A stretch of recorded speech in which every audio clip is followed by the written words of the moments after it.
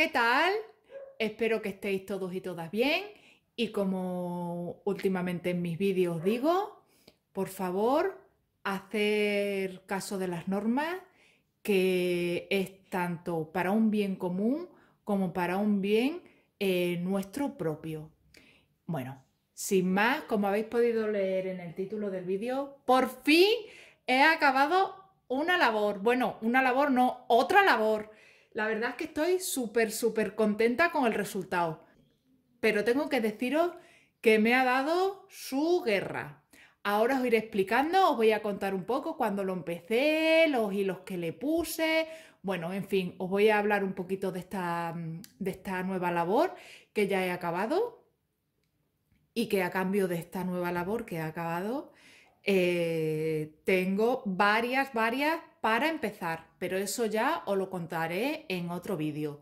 Hoy nos vamos a dedicar solo a, eh, bueno, pues esta labor que tenía yo tantas ganas de hace mucho tiempo de, hacerla, bueno, ya hasta que me, ha animado. Bueno, sin más, eh, ya sabéis que Labores es el hogar de, de una bordadora Deciros que, me ha encantado coser en esta tela, me gusta muchísimo y sobre todo, sobre todo, sobre todo, me encanta el resultado de la plancha. Una vez que lo planchas, queda la tela, no sé cómo explicaros, pero, pero una sensación además queda perfecta, sin ni una arruga.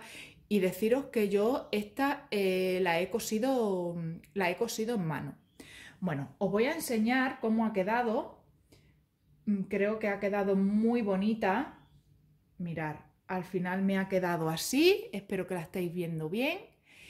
Y bueno, pues yo le he hecho varias reformas que ahora os iré contando. Eh, os traigo mi, mi, agenda donde voy apuntando, vamos, mi agenda, esto es como un diario de punto de cruz donde, donde tengo apuntado, bueno, pues lista de hilos que tengo que pedir, todos los proyectos que empiezo, en fin, la tengo dividida por, mm, en varias partes. Y aquí, bueno, pues tengo apuntado el del hogar de una bordadora que, os quiero, que os quiero comentar. Ay, por cierto, por si me preguntáis, mirar qué marcapáginas tan bonito. Mirar, os lo tengo que enseñar. Mirar qué bonito es. Me lo han regalado y es muy, muy, muy, muy especial porque me lo ha hecho mi madre. Es de ganchillo y está hecho con lino natural. Este es el lino natural, natural, natural. Es un lino que mi madre tenía de su tatarabuela. Se ha ido, lo, son, mm, tiene varios, varias bobinas y estas bobinas han ido, se han ido, había, tenían bastantes y se han ido heredando de generación en generación. A mi madre ya evidentemente le queda muy poquito, pero consiguió hacer unas colchas que le han quedado preciosas. Y bueno, con este poquito que le quedaba, pues ha hecho esto. Y la verdad que, que me ha encantado. Así es que aquí lo tengo en mi diario del punto de cruz. Bueno, sin más, vamos a empezar con eh, el proyecto que he acabado. Bueno, mirad. El proyecto lo empecé... Mirad, lo empecé el 5 de febrero y eh, mm, como os he ido diciendo en, en, varios vídeos, lo he hecho en una tela que se llama Lucan. Mirad, mirad qué trama tiene, os la acerco así bien para que la veáis. Es una trama muy parecida a la Lugana, es mm, mitad de Lugana, mitad de lino. Sí, ese, esa es la. Además, la sensación al tacto es de. es casi que más bien de lino. A mí me ha gustado muchísimo, muchísimo bordar, bordar aquí. Corresponde a un count de una ida 16. Y eh, el proyecto tiene 127 puntos por 100 puntos. Lo he hecho con, este está hecho con hilo de DMC y Danchor y tiene un total de 10 colores. Yo he utilizado 10 colores.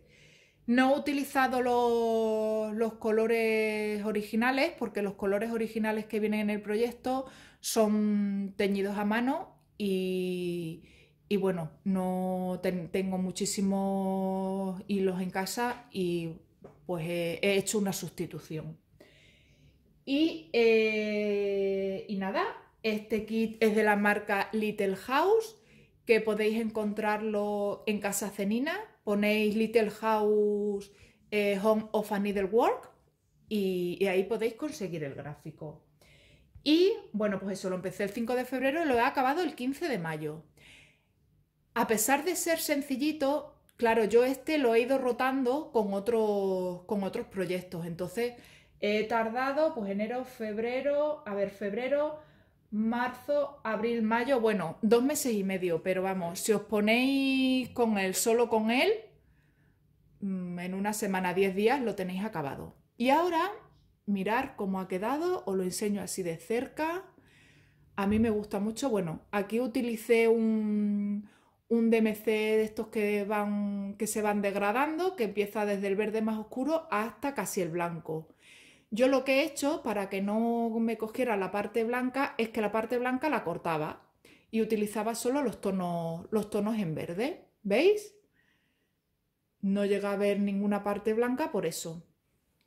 Luego aquí he utilizado, ¿veis? Un color así fresa y luego los tonos de, marrón. A ver, eh, os voy a hablar de, pues eso, de las pequeñas reformas que le he hecho. El patrón inicial, eh, bueno, el patrón original eh, venía todas las, todas las ventanas eh, oscuras, como todas estas de aquí y junto con la puerta. Pero estas dos ventanas, ¿veis? Yo las he puesto en otro color así mm, como más clarito, más dorado, para que diera la sensación, pues eso, que es una casa en la que hay gente dentro y evidentemente aquí hay una salita en la que está, en la que está alguien o algunas personas bordando y tienen encendida la luz para poder, para poder ver bien mientras que, mientras que cosen. Por eso, por eso eso lo puse así. Mm, me, pareció que, que, bueno, pues que quedaba bonito.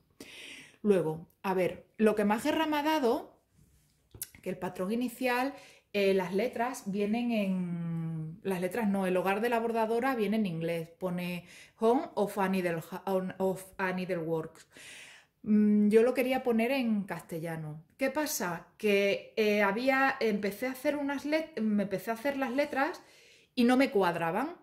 Entonces, para cuadrar tuve que hacer, aquí no me cogía la A porque de aquí salía un trocito de un trocito de, mm, de rama verde y no me cogía la A. Entonces tuve que quitar la rama.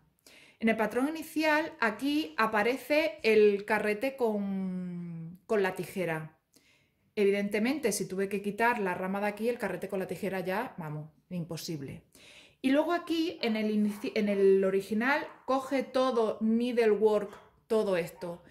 Pero eh, bordadora es más, la palabra es más corta. Entonces, para que aquí no me quedara esta zona en blanco y yo quería poner el carrete con la tijera, bueno, pues puse uno, pero todavía me quedaba aquí mucho trozo sin bordar y no me gustaba. Entonces le puse otro carrete. Y luego, otra de las pequeñas reformas que le he hecho, en el patrón original, esta línea de aquí eh, venía más hacia abajo y iba saltando mm, las partes de, de la D. ¿Qué pasa? Que yo no lo he hecho así porque me quedaba muy abajo esta línea y no me gustaba. Deciros que me quedaba muy abajo también porque yo he, aumentado el espacio entre una línea y otra. Porque quedaba muy. me quedaba muy apeletonado y no me, no me gustaba tanto. Entonces tuve que, bueno, pues que cuadrar las, las letras para que más o menos me quedara bien al final, después de todas las reformas que le he hecho al patrón original, creo que el resultado es bueno mm, y es muy, es muy bonito. Deseando enmarcarlo, que en cuanto pueda salgo, mm, salgo a buscarle un marco, no sé cómo, no sé cómo hacer. Está pensando cuando lo acabé, que lo acabé, pues eso, el 15 de febrero, uy, el 15 de febrero, el 15 de mayo,